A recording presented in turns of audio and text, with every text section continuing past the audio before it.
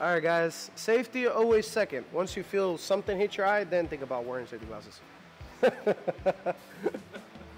yeah, this is coming from the guy that already had to get surgery from his eyes for not using these, and I'm still a hard ass and don't want to wear them. But you know, we got to set a good example here. Um, all right, so here I have the Toyota Solara knuckle. Um, yes, we will be worrying about something about holding on the bearing. Don't worry about that for those that you guys know and are thinking about it. Um, we do have the rotor on here. It's huge rotor. It is the same bolt pattern. The hub and everything is exactly the same as well, which is awesome. Um, so the next thing would be is to figure out how to mount the caliper. Man, this thing is dirty. Well, I was expecting that to be like, you know, like huge dust, but that was didn't work. Um, so now we got to figure out how to make that caliper. And that thing's so dirty. Hold on. Cut. What? I don't need to go in my editing sheet. Go full sound effect now. Oh, there, now it's coming off. Don't worry, they're gonna get repowder coated, so I don't care if I'm scratching the paint.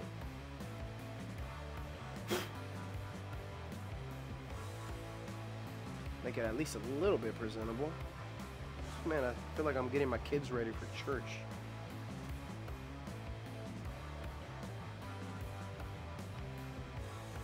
That's right, I'm good with my Yeah, fingers. Yeah, right yeah, there. yeah. It's a spot up here. Right. You're right. You're right.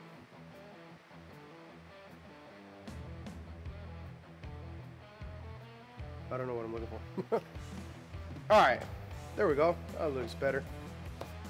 All right. So next thing is having to figure out the location or the mounts.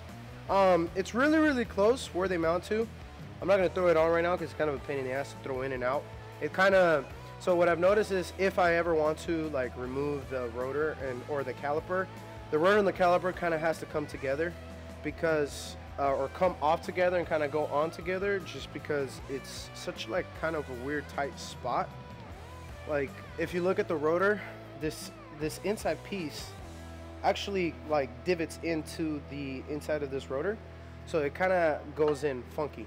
Uh, so it's it's extremely hard to try to fit it in. If I wanted to try to fit it in right now I would have to go from like somewhere else and then fish it around.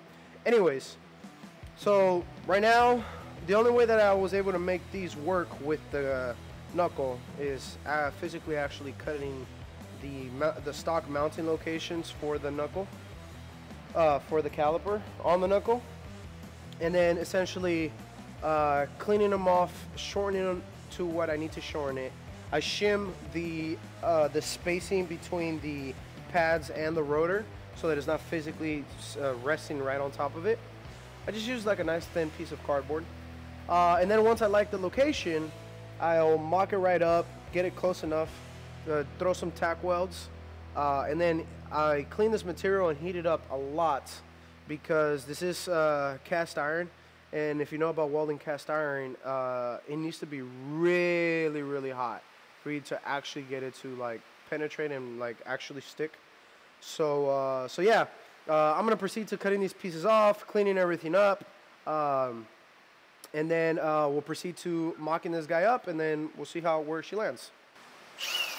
Oh, by the way, check out this new awesome grinder made by Milwaukee with rapid stop. Every single time you're grinding, let go, immediately stops so you can set it down. What a great quality piece. Milwaukee sponsor me.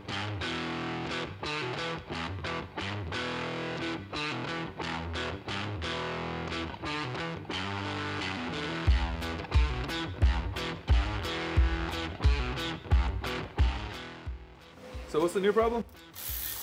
New problem is the same problem. it's just that it's a, it's a very fine line where you have to place it at. I don't know how the hell I got that one first try. That pisses me off. Anyways, um, that one, that one, you know, the wheel, the wheel spins freely. No problem. See, but see how I can't. It's not spinning. So you can actually see it from right here. Well, see, now it, it opened up, but see, I don't have both screws. I might be able to shave that guy down enough to where it'll help it, but see now, with that other one tying up, you can kind of see the top right there, there's kind of a gap. What can I use to point? Oh, this right. You can see right there, there's actually a gap where the flat actually kind of goes into. There's kind of a gap there, but then there's none at the bottom. And then on this side, there's a whole bunch of room now. So first, it was tight on this side and a bunch of room on this side. Now I added those shims.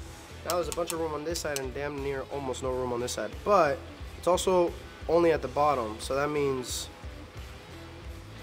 and I'm also missing the screw there because now I added the shim so now the screw isn't long enough to grab it.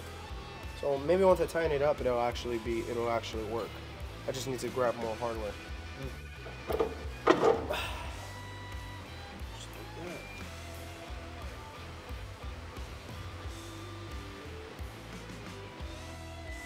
What's the goal right now?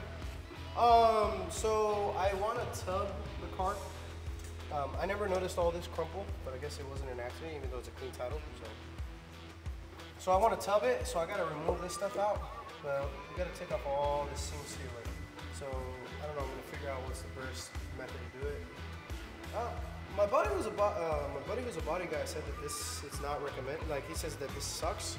But then I did research and everybody says yes, and it's what I have available. So I'm gonna just give it a shot, see if it works. If it doesn't, then I'm gonna just I don't know. I see people use chisels. So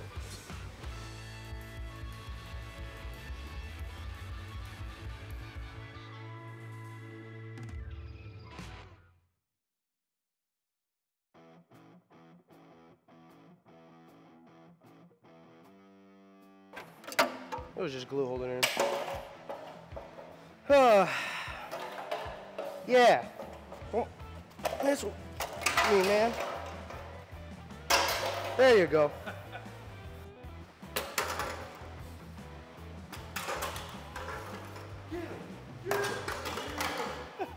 Just in line with the other one. Alrighty.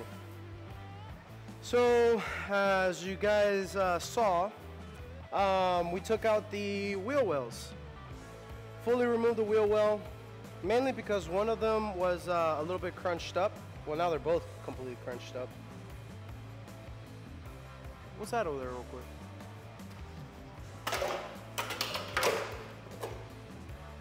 Sorry, you weren't supposed to see that.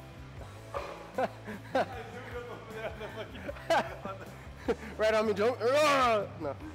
Anyways, um, no, but realistically, also I wanted to do uh, tubs.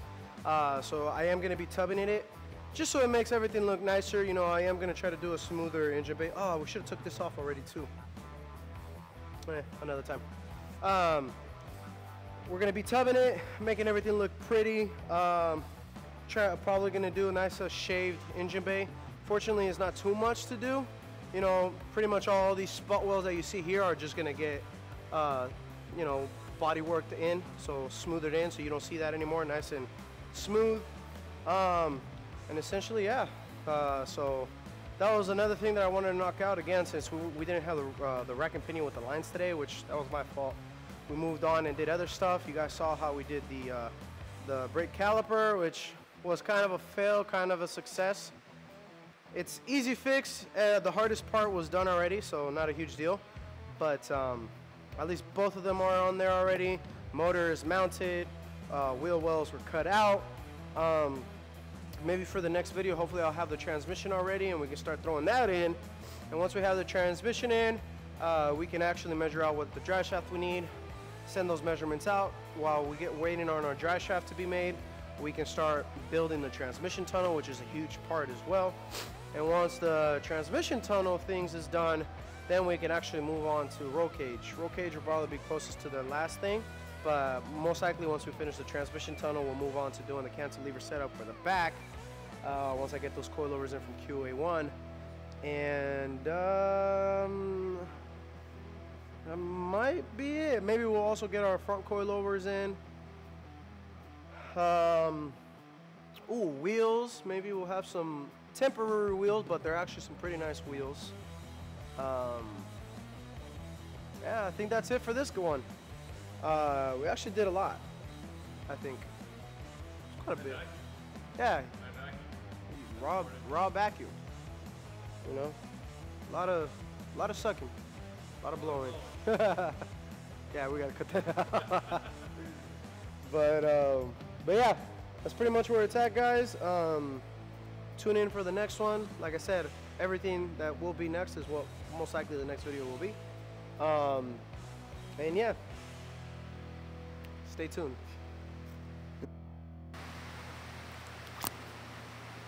I was like, something's sticky. What's so sticky?